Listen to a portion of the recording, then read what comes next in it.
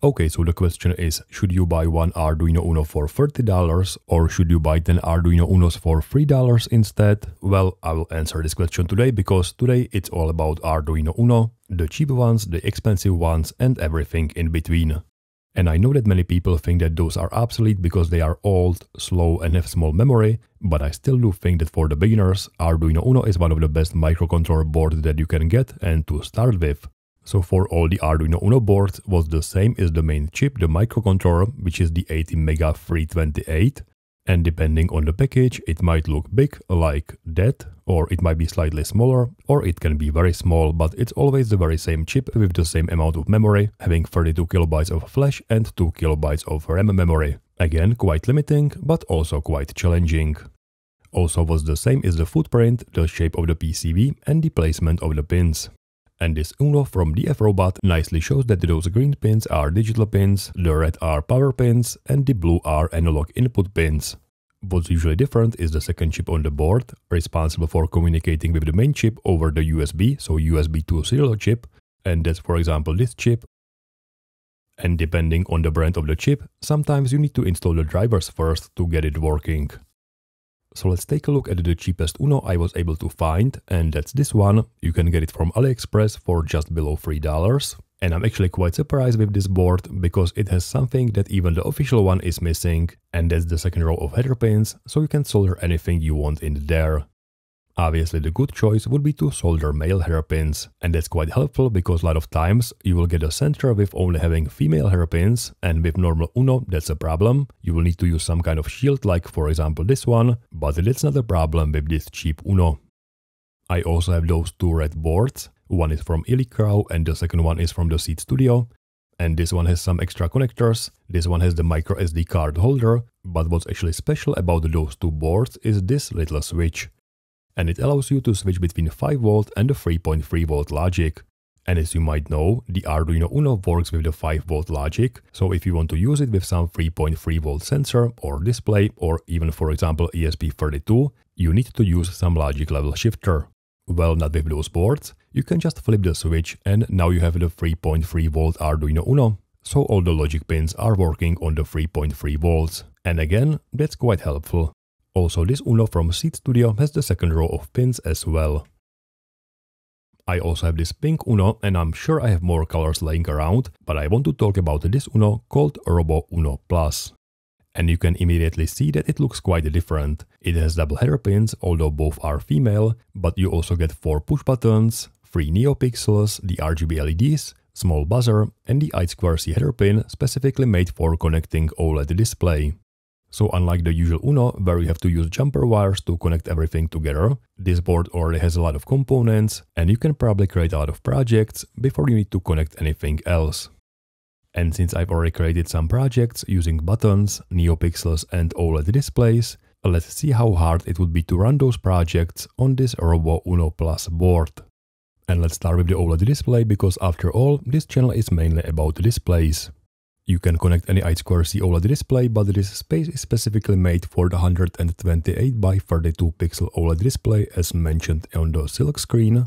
And I of course do have this display, so I'll just connect it into the header pins.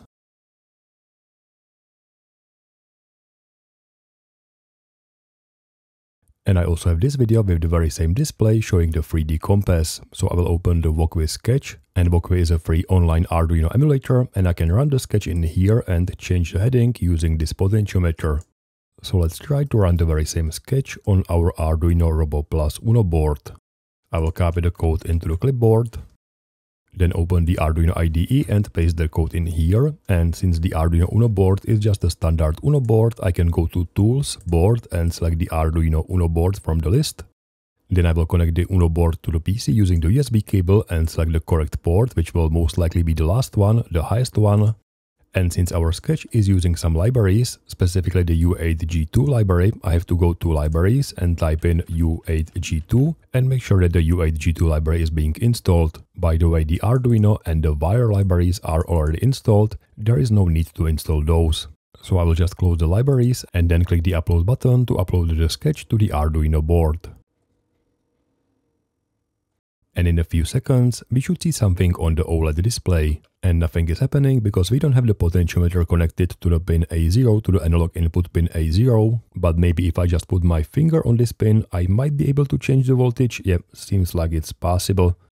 But I think that a better way would be to go back into the Arduino IDE. And in here, let's find the code where we are getting the heading from the potentiometer, which is this line, the compass degrees. And instead of getting it from the potentiometer, I will just increase it all the time, so compass degrees plus plus. And if the compass degrees is bigger than 360, in that case I will jump back to 0.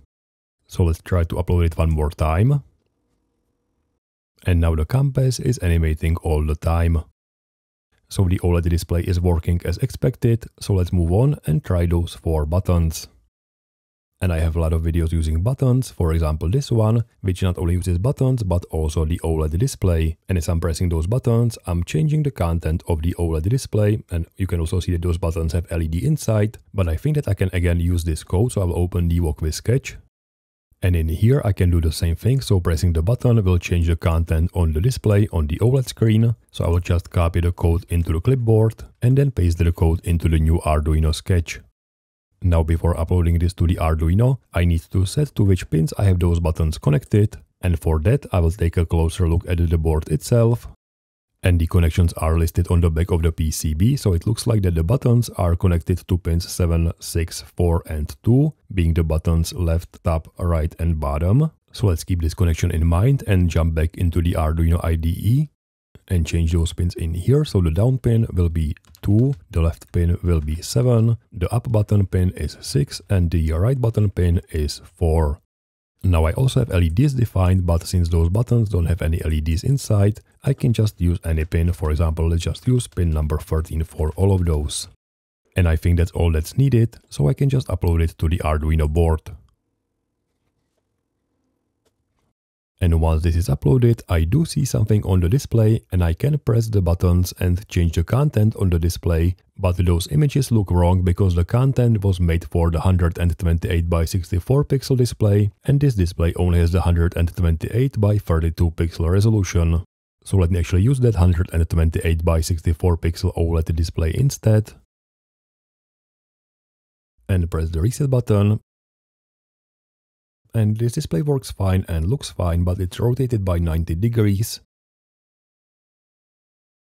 So let me actually use this huge display, which also has the same resolution and the same chip.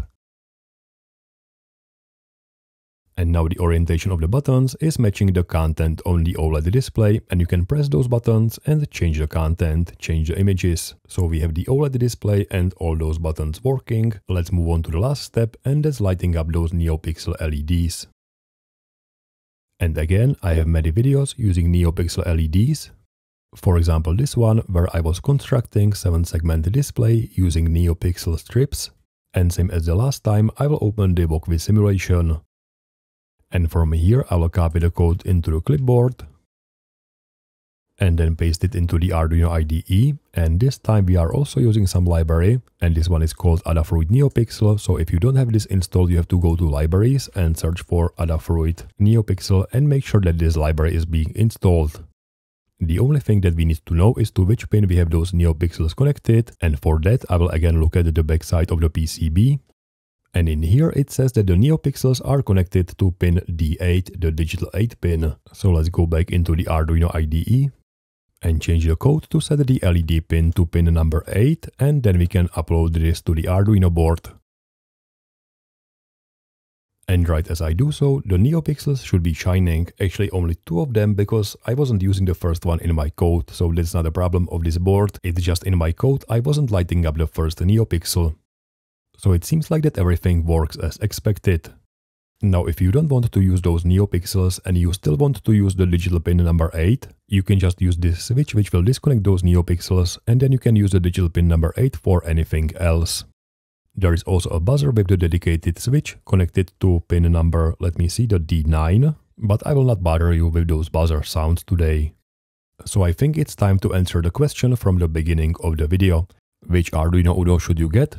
The $3 Arduino Uno board is nice, but this board is just so much better. I mean with buttons, NeoPixels and an easy way how to connect the OLED display, you can create dozens of projects without the need to use a single jumper wire. And once you do, you have the extra row of pins that you can use.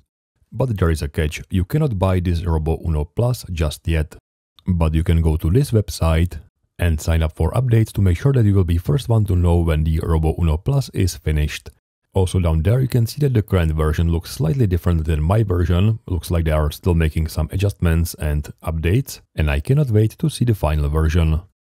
And that's it for today. If you have any questions or comments, please put those down in the comment section. Also, please let me know which is your favorite Arduino Uno board. Thank you very much for watching and I hope to see you soon. Thanks and bye.